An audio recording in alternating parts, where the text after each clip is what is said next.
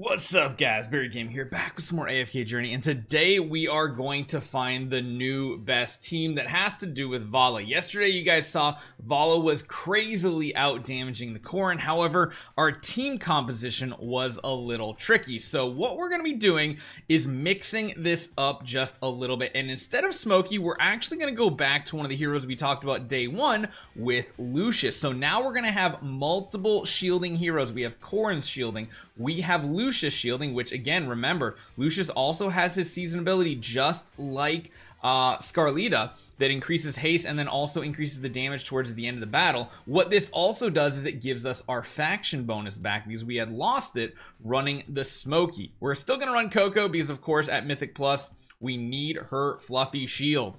Like it just needs to happen. So I'm guessing this is going to be one of the best team setups we can do. Kind of want to put Koko closer so that maybe Lucius can hit her as well with his shields, and the extra shielding should help. We won't have as much healing necessarily, uh, and beyond that, we did get some more magic charms here as well, so uh, we got one extra one on the Vala, and I think we got something. Oh man, we still missing one on our Korin, sadly. So Magic Charm's not working out exactly how we want, but I think this team right here, linking the Vala, should work. Let's jump in. Hopefully with evocation spell artifact as well, we can keep our team alive. Let's see how this turns out. Loss of shields immediately at the beginning of battle. We get our damage reduction right away.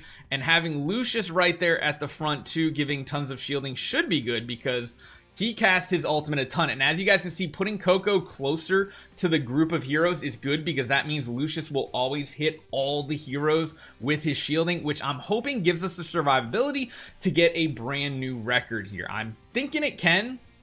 And if this works, I might mix things up with the artifact we're using as well. Uh, Vala and Korin still doing pretty good. So far, our health looks good. This is the big burst, and Vala does die once again even though she's linked to the Thoran, which is just crazy to think that this has happened. I can't believe it's actually happening. She's getting like 50% damage reduction, but she's getting just absolutely nuked by this boss here. Down goes Koko, and this is like, yeah, this this this is not working out to our advantage here. We might have to try something else to keep our team alive because that type of damage number is not working out for us, even though when we look at this, Vala's going to do a ton of extra damage here. Look at the damage she had. So there's a couple things we can try doing here. And one of them is going to be completely dropping, I think, Korin out of the mix and instead running where are you? Reinier. So I want to give extra damage reduction here, and I want my team setup to still be this positioning well, I kind of want to put you like closer. The only bad part here is the fact that Lucius is going to have a hard time hitting Reinier and everybody else, but I'm hoping with the extra damage reduction from Reinier, this could potentially be the better combo. Again, I don't know if we're going to be able to afford to keep Korin in this lineup because, well, we just need to try to keep this hero alive as long as possible because Vala in half the battle, is doing the same amount of damage as Korin in the entire battle. So if it means we're just running a single damage dealer, so be it. Let's see how this actually turns out. She's basically spamming her ultimate. And again, this strategy only works when the boss has less than 50% HP with Vala. Uh, Vala will stay at ranged if that is not the case. So she's just taking so much damage. It's crazy. This is going to be the part right here. That when the beetle goes up in the air, this is going to be the, the telltale if she's going to survive or not. Oh, she survived. Oh my gosh, she survived. that was normally where she dies right there, is that big AoE burst, but with the extra damage reduction from Reinier, she just barely, barely survived that. So let's see what our damage number goes to now. I'm hoping that means we get a new record. This one could be sketchy too. Oh, we lost our support heroes, and then we lost the Vala. Man, as much as I want Vala to work, she's just too squishy. We're literally investing everything into this Vala, but as far as going for like the tippy top peak score, I don't know if it's gonna work. For for like the early game, I know a lot of people are having a ton of luck with their Vala, but this just is not working out for us. She's just standing way too close to the enemy, and she's just getting completely murked. The only other thing I could think is maybe running like a Phraesto over Reinier, because again, Phraesto has something similar.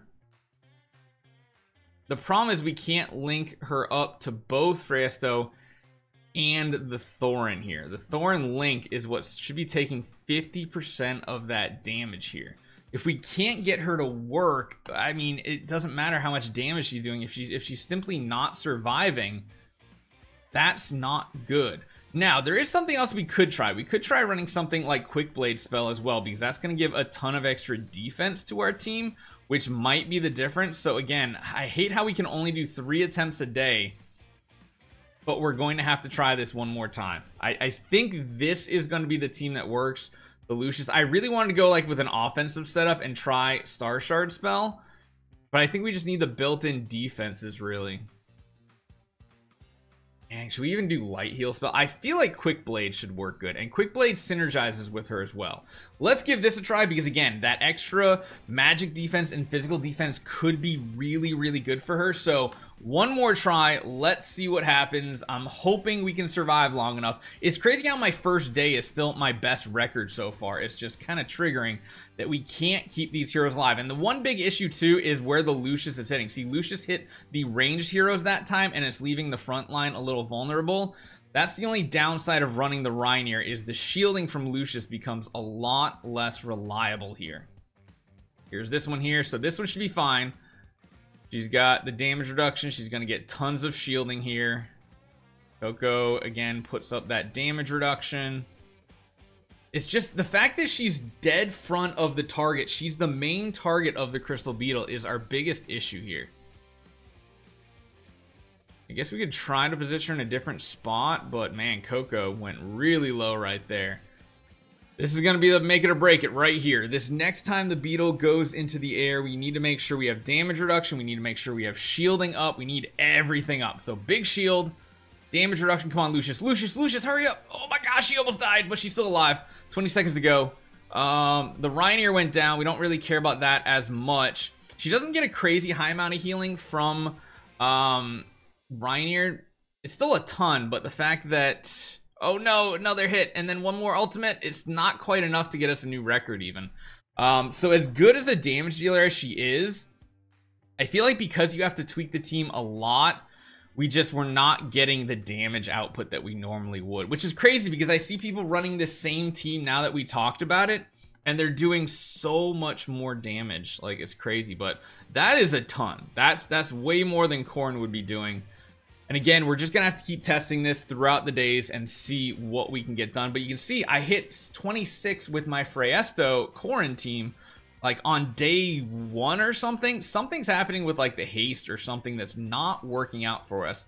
And just remember, this is because we're in the district and our district has a crazy amount of megalodons here. So uh, Vala is a valid strategy. Is she the best strategy? I don't know but she is working very, very strongly for us. We'll just see if we can actually make her work in the future. Hopefully you guys enjoy this one. I'll see you guys next time.